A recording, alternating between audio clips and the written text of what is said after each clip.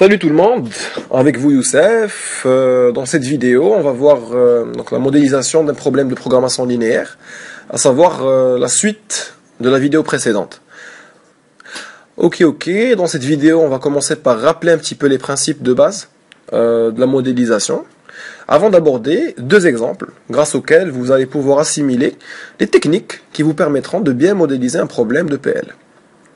Donc premièrement, les étapes de modélisation d'un problème de PL sont les suivantes.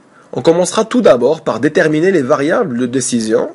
Donc, euh, si vous vous rappelez de la vidéo précédente, on avait vu que ces variables-là, on les note de la façon x1, x2 par exemple. D'accord? On commence tout d'abord par les identifier à travers les données du problème. Deuxième étape, c'est d'identifier les contraintes en les exprimant sous une forme d'équation ou bien d'inéquation linéaire un petit peu de la sorte alpha x1 plus bêta x2 inférieur ou égal à gamma. Euh, une, seule fois ou bien plusieurs fois, ça dépend du nombre de contraintes que vous aurez dans le problème. Et en dernier lieu, on va, on va devoir identifier la fonction objectif, savoir si on va devoir la maximiser ou bien la minimiser. Euh, autrement dit, pour faire plus simple, euh, vous aurez une ligne dans votre système donc dans le, problème linéaire qui sera écrite sous la forme minimum ou bien maximum de z est égal à ax1 plus bx2 en fonction des données de votre problème. Ok guys? Alors, maintenant on va commencer par notre premier exemple. En fait, ce sera l'exemple avec lequel euh, j'ai terminé la précédente vidéo. Je vous demande d'appuyer sur pause, de bien lire l'énoncé, avant de commencer à traiter euh, le problème en ma compagnie. Ok? Appuyez sur pause. Essayez de résoudre ce problème tout seul.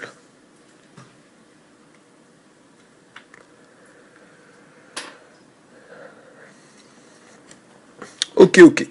Alors, avant de commencer à résoudre le problème, ce que vous devrez savoir, c'est que on cherche à savoir combien de ciment de chaque type peut-on produire par jour pour maximiser le bénéfice.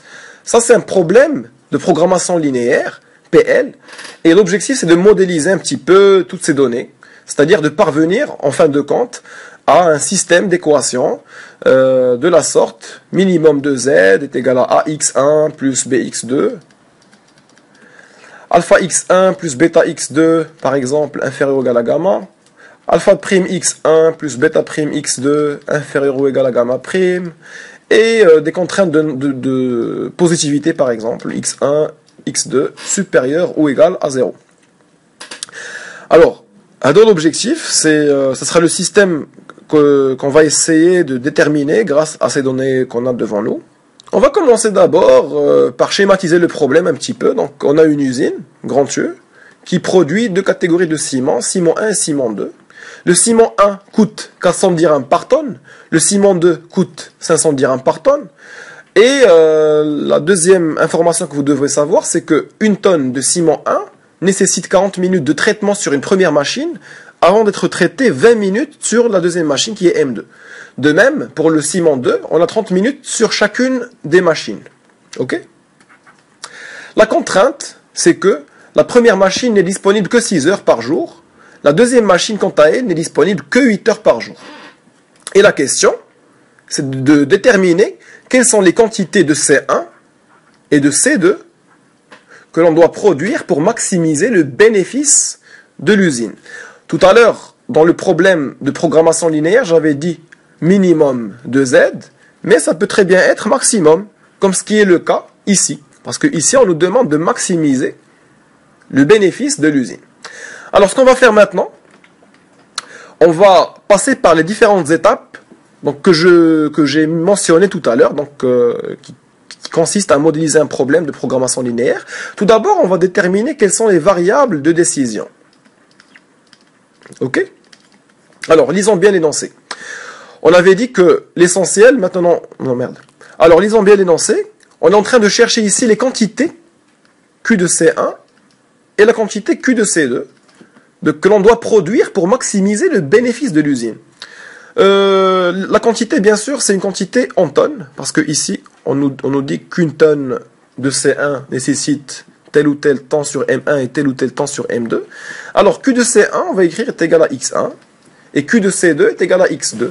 En fait, ce sont les variables que l'on est en train de, chercher pour résoudre notre problème. D'accord? Les variables de décision sont x1 et x2, sachant que x1 est la quantité de C1 et x2 est la quantité de C2 à produire. Deuxième étape, vous pouvez soit déterminer euh, les contraintes ou bien euh, chercher à savoir quelle est la fonction objectif. Moi, personnellement, je préfère par commencer à, chercher à savoir quelle est la fonction objectif. Alors ici, l'objectif c'est de savoir quelles sont les quantités de C1 et de C2 que l'on doit produire pour maximiser le bénéfice de l'usine. Quand on parle de maximiser, on, commence naturellement par max de Z est égal à quoi? Alors, la quantité X1 de C1, elle va me rapporter de l'argent, que je vais appeler euh, A1. La quantité X2 de C2, elle va m'apporter une quantité d'argent qui est A2. Alors, max de Z est égal à A1 plus A2. Et là, je dois déterminer c'est quoi A1 et c'est quoi A2.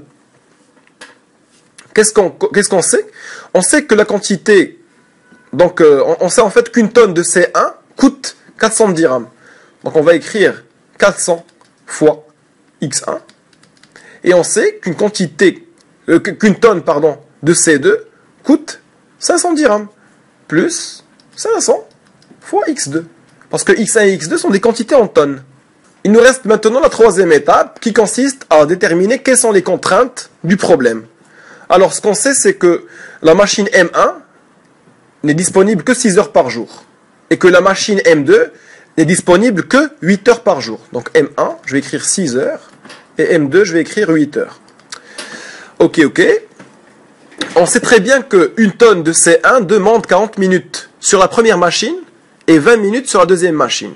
De même, une tonne de C2 demande 30 minutes sur la première machine et 30 minutes sur la deuxième machine. Donc par rapport à la première machine, on a 6 heures et on a une quantité X1 de, euh, de C1 à traiter une quantité x2 de C2 à traiter, sachant que x1 demande 40 minutes, donc par unité, donc pour une tonne, on a 40 minutes, et pour x2, ça demande, euh, en fait, ça demande 30 minutes sur la machine M1, par tonne. Et x2, c'est une quantité en tonnes, bien évidemment.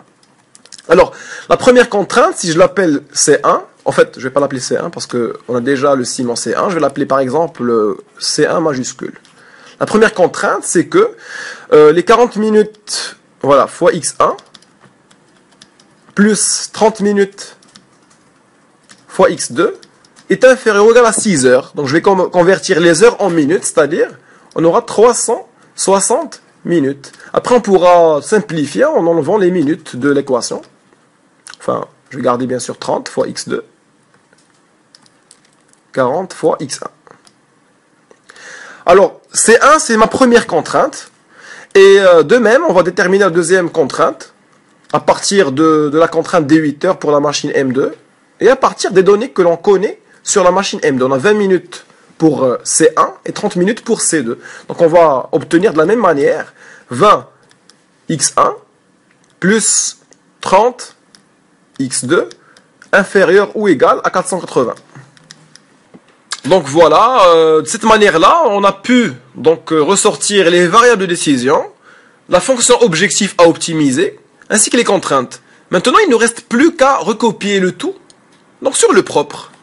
Donc j'ai recopié donc les, les résultats que j'ai obtenus sur le slide précédent, mais je ne devrais jamais oublier la contrainte de non-négativité puisque les quantités sont en tonnes. C'est-à-dire que ce seront des quantités qui seront positives bien évidemment. x1, x2 supérieur ou égal à 0. Euh, c'est ainsi que je suis parvenu à modéliser le problème, donc le premier problème euh, que l'on a traité. Alors je vous demande de, refaire l'exercice de par vous-même et euh, voilà, d'essayer de retrouver les mêmes résultats. Le deuxième exemple, nous le verrons dans la prochaine vidéo. Merci pour votre attention.